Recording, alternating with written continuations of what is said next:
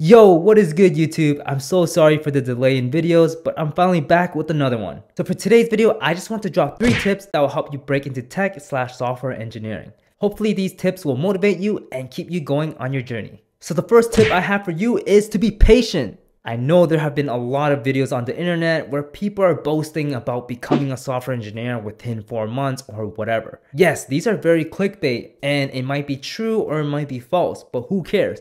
What's important is that each and every one of you are different.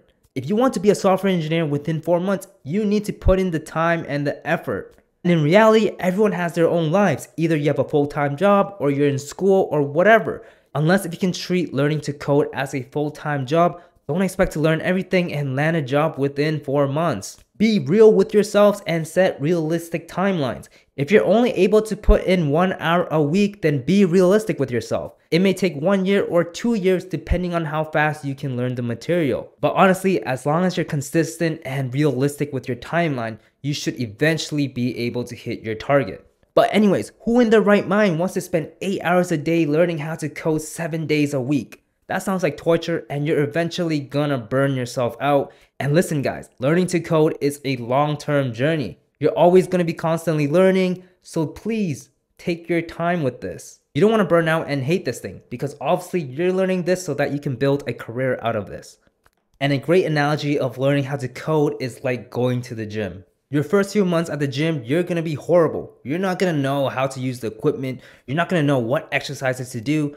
But eventually, as you watch videos, as you watch other people, you're gonna learn how to work out. The same concept applies to programming. If you're a total beginner right now, everything will be overwhelming. Just typing on the keyboard will be scary. But don't worry, once you put in the time and the effort and practice every day, you're gonna get good at this stuff and you're gonna be proficient and you're gonna be ready for a job. So again, please be patient with yourself and take care of yourself. This is a long, long, long journey, so make sure you enjoy it. All right, tip number two. This one is very simple. A lot of you guys need to be more attentive to details. For example, this week I recently got a DM from one of my subscribers asking me what is wrong with their code. They literally copied everything from the video and it's not working. So let's take a look at this code. Okay, do you guys see anything wrong with it? Maybe not. But look, there's an error message. And what does the error say? Indentation error. So guys, please, an important part of learning to program is learning how to read error messages. If you see an error message, you should be very happy because sometimes programs might crash and they might not give you an error message.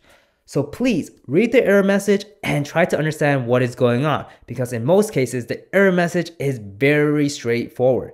In this case, it's telling you your indentation is off. So please fix it. And maybe sometimes you might not understand the error message and that's totally fine as well. And that's where tools like Google or ChatGPT is for. You literally copy the error message, not word for word, but obviously the more generic stuff, and you pop it in Google or ChatGPT, and then you're gonna get a result from either Stack Overflow or some other website, and hopefully that will help you resolve your issue. And again, right now we're living in 2023. We have tools like ChatGPT, a AI bot that will help you. So literally, you can even just copy the code and put into ChatGPT and say, hey, my code is not working. Can you fix it? And boom, ChatGPT will spit out the corrected code and voila, now you're a real programmer. And in the worst case, if none of these tools work, you'll have to ask a real person. And this is probably the hardest thing ever because people suck at replying or they're just very slow at it. Two hours later. Jokes aside, please learn how to use these tools because they will help you a lot along your journey of learning how to program. And now going back to this code, literally if you're copying the code that I have in the video and it's not working, sometimes it might be you and not me.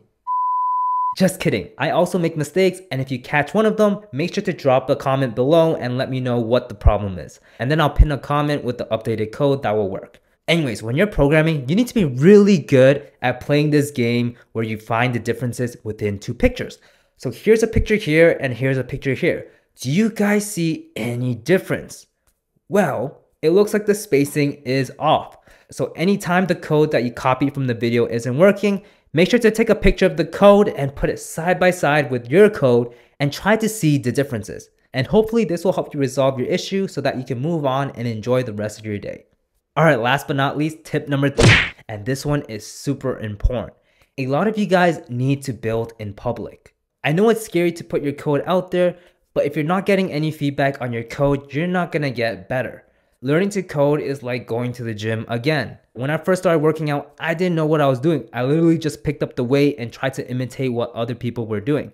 But the problem with this is I'm probably not doing the correct motion. Yes, I'm moving the weight, but I'm probably not working out the correct muscles. So this is very similar to learning how to program because if you're not getting feedback on your code, you might be doing something incorrect and you'll never know. And then you build up a very bad habit that will be very hard to break in the future.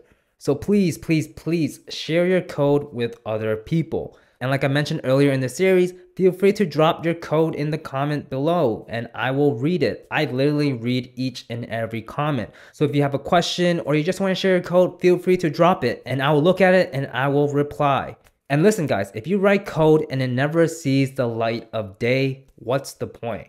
So the whole point of software engineering or just programming in general is to build things that you can use, your family can use, your friends can use, just someone else in the world can use.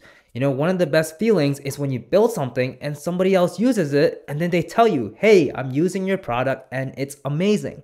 So please, if you build a project, please share it to the world and let someone use it. Let them give you feedback so that way you can get better.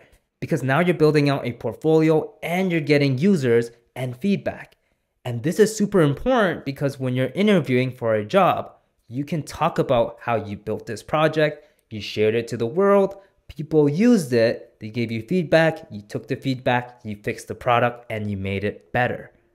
These are the stories that you want to tell during an interview. Nobody cares about a tic-tac-toe game that nobody plays. Nobody cares about that review app that you built with zero reviews. So please, please, please have real users use your application or projects that you build. And that's my three tips for you. Hopefully this was helpful and I hope you the best of luck on your programming journey.